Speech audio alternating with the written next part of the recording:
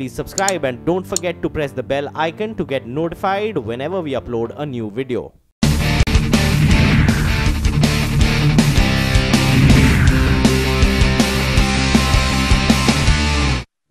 வணக்கம் இது news eighteen Tamil Nadu express eighteen செய்தி தொகுப்பிற்காக நான் சப்ரின்ஷா செய்திகளை துல்லியமாகவும் விரைவாகவும் இனி பார்ப்போம்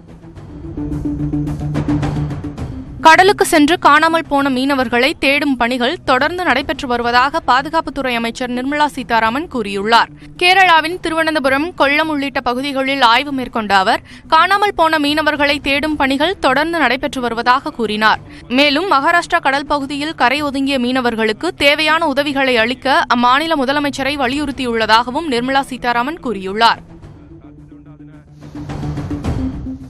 நடுக்கடலில் காணாமல் போன மீனவர்கள் படகுகளின் விவரங்களை மத்திய அரசிடம் வழங்கியுள்ளதாக வருவாய்த்துறை அமைச்சர் ஆர் பி உதயகுமார் தெரிவித்துள்ளார். ஒக்கி புயல் பாதிப்பு தொடர்பாக சென்னையில் செய்தியாளர்களை சந்தித்த அவர் எத்தனை மீனவர்கள் காணாமல் போயுள்ளார்கள் என்ற விவரத்தை தெரிவிக்கவில்லை. எத்தனை போட்டுகள்? நம்முடைய ரெஜிஸ்டர்ட் போட் தமிழ்நாட்டில் இருக்கக்கூடிய ரெஜிஸ்டர்ட் போட் அதில் எத்தனை தற்போது கரையில் இருக்கிறது?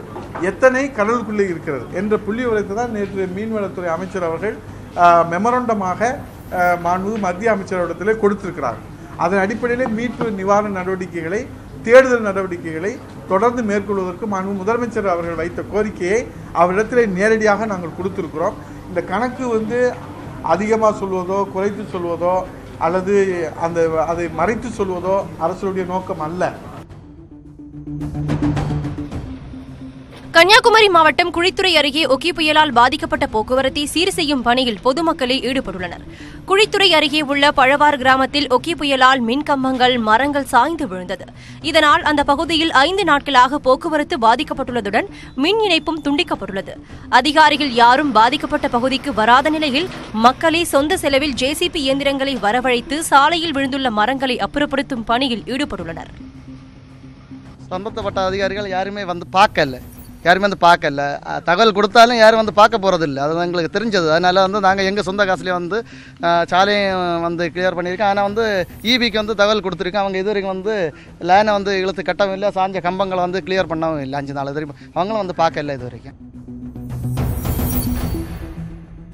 ஒக்கி புயலின் தாக்கத்தை தொடர்ந்து புயல் பாதித்த பகுதிகளில் மீட்பு மற்றும் நிவாரணப் பணிகளை கடற்படையினர் மேற்கொண்டுள்ளனர். கடலோர காவல்படையினர் பனிரண்டு கப்பல்கள் கடற்படையின் பத்து கப்பல்கள் என மொத்தம் இருபத்தி இரண்டு கப்பல்கள் மீட்பு பணியில் ஈடுபடுத்தப்படுகின்றன. ஹெலிகாப்டர்கள் மற்றும் விமானங்கள் என மொத்தம் பதினாறு விமானங்கள் லட்சத்தீவு பகுதியில் நிவாரணப் பணிகளை மேற்கொண்டுள்ளன. நாகை மாவட்டம் தரங்கம்பாடி அடுத்துள்ள காளியப்பநல்லூர் பகுதியில் பயிரிடப்பட்ட உளுந்து பயிர் நீரில் மூழ்கி உள்ளதால் விவசாயிகள் வேதனையடைந்துள்ளனர்.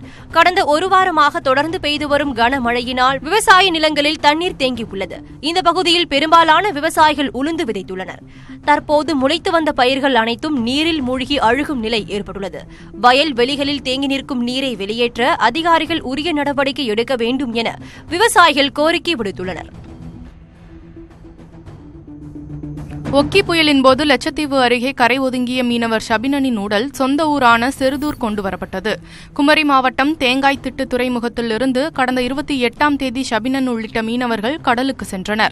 ஒக்கி புயலால் படகு நடுக்கடலில் கவிழ்ந்ததில் காணாமல் போன ஷபினன் லட்சத்தீவு அருகே கல்பேணி தீவில் சடலமாக கரை ஒதுங்கினார். அங்கிருந்து கேரளாவின் கொச்சி அரசு மருத்துவமனைக்கு கொண்டு வரப்பட்ட சபினனின் உடல் நேற்று பிரேத பரிசோதனை செய்யப்பட்டு நேற்றிரவு அவசர ஊர்தி மூலம் சொந்த ஊரான செருதூருக்கு ஷபினனின் உடல் கொண்டுவரப்பட்டு குடும்பத்தினரிடம் ஒப்படைக்கப்பட்டது.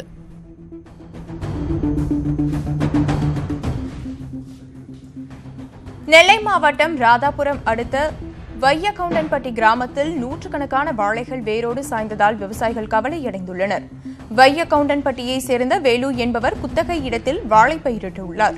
மழை இல்லாத காரணத்தால் ஒரு வண்டி தண்ணீர் எழுநூறு ரூபாய் கொடுத்து வாழைகளுக்கு தண்ணீர் பாய்ச்சியுள்ளார் வாழைக்குலை தள்ளி அறுவடைக்கு தயாரான நிலையில் தொடர் மழை மற்றும் சூறைக்காற்று காரணமாக வாழைகள் அனைத்தும் வேரோடு சாய்ந்துள்ளன.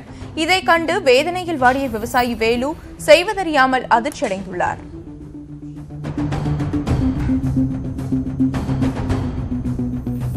நாகை மாவட்டம் கீழ்வேலூர் ஊராட்சிக்குட்பட்ட முப்பத்தி கோட்டகம் வெள்ளையாற்று நடைபாலம் அடித்துச் செல்லப்படும் அபாயம் ஏற்பட்டுள்ளது.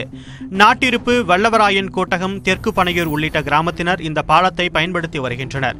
கனமழையால் தற்போது வெள்ளையாற்றில் வெள்ளம் கரைபுரண்டு ஓடுவதால் பழுதடைந்த நிலையில் உள்ள நடைபாலம் எந்த நேரத்திலும் அடித்துச் செல்லப்படலாம் என கிராம மக்கள் அச்சம் தெரிவித்துள்ளனர்.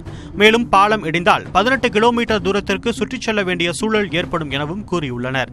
எனவே பாலத்தை சரி செய்ய வேண்டும் அல்லது தற்காலிக பாலம் அமைக்க வேண்டும் என்றும் கோரிக்கை விடுத்துள்ளனர். ஒகி புயல் பாதிப்பு தொடர்பாக சென்னை தலைமைச் செயலகத்தில் முதலமைச்சர் எடப்பாடி பழனிசாமி தலைமையில் ஆலோசனைக் கூட்டம் நடைபெற்று வருகிறது. இதில் துணை முதலமைச்சர் பன்னீர்செல்வம் உள்ளிட்டோர் பங்கேற்றுள்ளனர். இது தொடர்பான கூடுதல் விவரங்களை நமது செய்தியாளர் அபினேஷிடம் கேட்டறிவோம். அபினேஷ் முதலமைச்சர் மற்றும் துணை முதலமைச்சர் இவர்களுடன் வேறு யார் யாரெல்லாம் இந்த ஆலோசனைக் கூட்டத்தில் கலந்துள்ளார்கள்? இதில் என்னென்ன முக்கிய அம்சங்கள் இடம்பெற இருக்கிறது? சபரின்ஷா ஓகி புயல் பாதிப்பு தொடர்பாக தலைமைச் செயலகத்தில் முதலமைச்சர் துணை முதலமைச்சர் மற்றும் மூத்த அமைச்சர்களுடன் மிக முக்கியமான ஒரு ஆலோசனை கூட்டம் என்பது தற்போது நடைபெற்று வருகிறது. இந்த ஆலோசனை கூட்டத்தில் துணை முதலமைச்சர் ஓ பன்னீர்செல்வம் அதே போல மூத்த அமைச்சராக இருக்கக்கூடிய ஜெயக்குமார் அவர்கள் அதே போல தங்கமணி அதே போல வேளாண் துறை அமைச்சர் துரைக்கண்ணு அதே போல ஆர் பி உதயகுமார் அதே போல விஜயபாஸ்கர் சுகாதாரத்துறை அமைச்சர் விஜயபாஸ்கர் அதே போல உள்ளிட்ட அதிகாரிகளும் துறை அதிகாரிகளும் இந்த ஆலோசனை கூட்டத்துல கலந்து கொண்டிருக்கிறார்கள். தமிழக முதலமைச்சர் அவர்கள் அஹ், மூத்த அமைச்சரோடு தற்பொழுது மிக முக்கியமான ஒரு ஆலோசனை கூட்டத்தில் மேற்கொண்டு வருகிறார். இந்த ஆலோசனை கூட்டத்தில் கன்னியாகுமரி நாகர்கோவில் தூத்துக்குடி ஆகிய மாவட்டங்களில் இந்த ஓக்கி புயல் காரணமாக கடலுக்கு சென்ற மீனவர்களுடைய நிலை குறித்தும் அவர்களை மீட்பது துரிதமாக மீட்பதற்கான நடவடிக்கை குறித்தும் மிக முக்கியமாக ஆலோசிக்கப்பட்டு வருகிறது. தொடர்ச்சியாக அந்த மீனவர்களை பத்திரமாக மீட்பதற்கான அனைத்து நடவடிக்கைகளையும் மத்திய அரசோடு மத்திய அரசு துணையோடு தொடர்ச்சியாக தமிழக அரசு அவர்களை மீட்க மீட்கக்கூடிய நடவடிக்கை எடுத்து வந்தாலும் கூட தொடர்ச்சியாக அந்த பகுதியில் இருக்கக்கூடிய பொதுமக்கள் குறிப்பாக கன்னியாகுமரி மாவட்டத்தில் இருக்கக்கூடிய பல்வேறு மீனவர்களுடைய எண்ணிக்கை என்பது இன்னும் முழு விபரம் அதாவது எத்தனை மீனவர்கள் கடலுக்கு சென்றிருக்கிறார்கள். யாரெல்லாம் காப்பாற்றப்பட்டிருக்கிறார்கள் என்பதுவான ஒரு முழு விவரம் என்பது இதுவரை தமிழக அரசிடமிருந்து தெளிவாக ஒரு குறிப்பிடப்படாமல் இரு- இருக்கக்கூடிய ஒரு சூழலில் தற்பொழுது இந்த ஆலோசனை கூட்டம் என்பது மிக முக்கியமாக நடைபெற்று வருகிறது. குறிப்பாக அந்த பாதிப்படைந்த பகுதிகளில் உடனடியாக விவசாய நிலங்களாக இருக்கட்டும் அல்லது ப- அல்லது சுகாதார சீர்கேடு எதுவும் இல்லாமல் இருப்பதற்கான அனைத்து துரித நடவடிக்கையும் மேற்கொள்வதற்கான இந்த ஆலோசனை கூட்டத்தில் வந்து அமைச்சர்களுக்கு அறிவுறுத்தப்பட இருக்கிறது. அதோடு மட்டும் இல்லாமல் நிவாரணம் தொடர்பாகவும் இந்த ஆலோசனை கூட்டத்தில் மிக விரிவாக ஆலோசிக்கப்பட இருக்கிறது சபரின் ஷா. அபினேஷ் தற்பொழுது கன்னியாகுமரி மாவட்டத்தில் அஹ், மீன் பிடிக்க கடலுக்கு சென்ற மீனவர்கள் ஒகி புயலால் அங்கு தடுமாறிக் கொண்டு இருக்கிறார்கள். அவர்களை மீட்கும் முயற்சியில் தமிழக அரசு சார்பில் என்னென்ன மாதிரியான நடவடிக்கைகள் எடுக்கப்பட்டிருக்கு? இதை பற்றின ஆலோசனைகள் அங்கு மேற்கொள்ளப்பட்டு இருக்கிறதா? விவரங்களை பதிவு செய்யுங்கள் அபினேஷ். மிக முக்கியமாக இந்த ஓக்கி புயல் காரணமாக இந்த கன்னியாகுமரி நாகர்கோவில் தூத்துக்குடி ஆகிய பகுதிகளை சேர்ந்த மீனவர்கள் கடலுக்கு சென்று அவர்களுடைய நிலை என்ன என்பது குறித்து மிக முக்கியமான ஒரு ஒரு ஆபத்தான நிலை இருக்கிறாங்க. அவர்களை மீட்கக்கூடிய நடவடிக்கைகளை தொடர்ச்சியாக அரசு எடுத்து வந்தாலும் கூட பல் பல பல மீனவர்களுடைய நிலை என்ன என்பது கேள்விக்குறியாக இருக்கிறது. இப்படியான சூழலில் இந்த ஆலோசனை கூட்டத்தில் மேலும் இந்த அந்த தேர்தல் பணியை த- தீவிரப்படுத்துவதற்கான ஒரு ஆலோசனை கூட்டம் தற்பொழுது நடைபெற்று வருகிறது. நேற்றைய தினம் கூட மத்திய பாதுகாப்புத்துறை அமைச்சர் நிர்மலா சீதாராமன் அவர்கள் நேரடியாக அந்த கன்னியாகுமரி மாவட்டத்திற்கு சென்று அங்கு நேரடியாக ஆய்வு செய்தார். அதே போல இன்று குறிப்பாக தமிழக அரசை பொறுத்தமட்டில் தொடர்ச்சியாக அவர்களை மீனவர்களை அதாவது காணாமல் போன அல்லது நடுக்கடலில் இருக்கக்கூடிய மீனவர்களை மீட்கக்கூடிய நடவடிக்கைகளை தொடர்ச்சியாக எடுத்து வந்தாலும் கூட அந்த பகுதி மக்கள் தொடர்ச்சியாக இந்த மீட்பு பணியில் தோய்வு இருப்பதாக ஒரு குற்றம் குற்றச்சாட்டை முன்வைத்திருந்தார்கள்.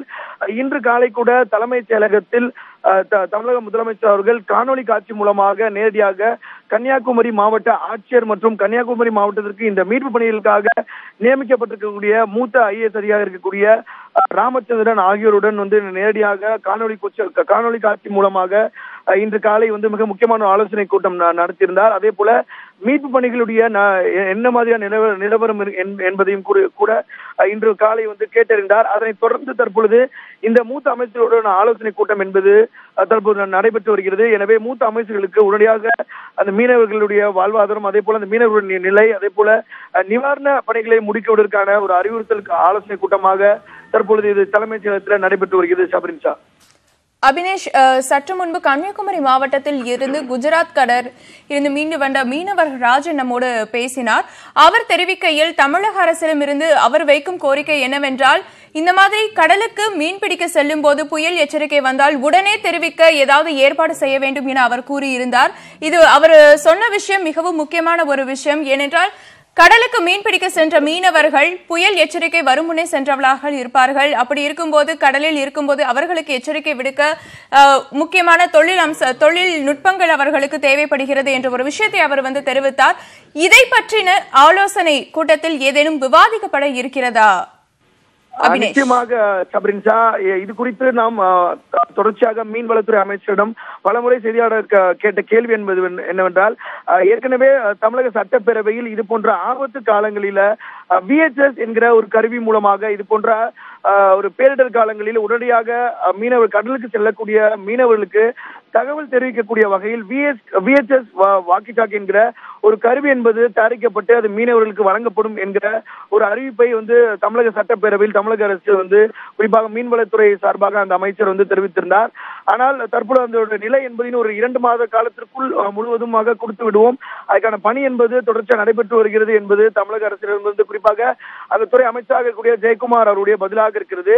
நீங்கள் குறிப்பிட்டது போலவே அந்த மீனவருடைய கோரிக்கை என்பது மிக நியாயமான ஒரு ஒரு கோரிக்கை. குறிப்பாக இது இது போன்ற பேரிடர் காலங்களில உடனடியாக தகவல் தெரிவிப்பதற்கான கருவி என்பது தற்பொழுது மிக மிக அத்தியாவசியமாகவும் அவசியமாகவும் இருக்கிறது. எனவே அது குறித்தும் தொடர்ச்சியாக அதை அந்த பணிகளை அதாவது விஹெச்எஸ் கருவிகளை தயாரிக்கக்கூடிய பணிகளையும் அதை மீனவர்களுக்கு வழங்கக்கூடிய பணிகளையும் மிக தீவிரப்படுத்தக்கூடிய அறிவுறுத்தலும் இன்றைய தினம் தமிழக முதலமைச்சரால் அந்த மீன்வளத்துறை அமைச்சருக்கும் அந்த சம்பந்தப்பட்ட துறைக்கும் அறிவுறு அறிவுறுத்தப்படுவதற்கான வாய்ப்பு அதிகமாக இருக்கிறது. எனவே மீனவர் மணி அவர்கள் குறிப்பிட்டது போலவே இந்த தேவை என்பது இந்த இது போன தொழில்நுட்ப கருவியுடைய தேவை என்பது அதிகமாக இருக்கிறது. அது த- தமிழக அரசிடம் தரப்பு போதிய அளவில் இல்லாததும் ஒரு காரணமாகவே மீனவ தரப்பிலிருந்து ஒரு மிக முக்கியமான ஒரு குற்றச்சாட்டாக முன்வைக்கிறத நம்மால் இதை புரிந்து கொள்ள முடிகிறது ஷபின் ஷா ஒகி புயல் பாதிப்பு தொடர்பாக சென்னை தலைமை செயலகத்தில் முதலமைச்சர் துணை முதலமைச்சர் மற்றும் அமைச்சர்கள் ஆலோசனை மேற்கொண்டு வருகிறார்கள். இந்த ஆலோசனை கூட்டத்தின் முடிவில்தான் தெரிய வரும் இதில் என்னென்ன அம்சங்கள் இடம்பெற்றிருக்கிறது என்று அவினேஷ் உங்களுடைய கூடுதல் விவரங்களுக்கு நன்றி. தொடர்ந்து ஒரு சிறிய இடைவேளைக்கு பிறகு எக்ஸ்பிரஸ் தொடரும்.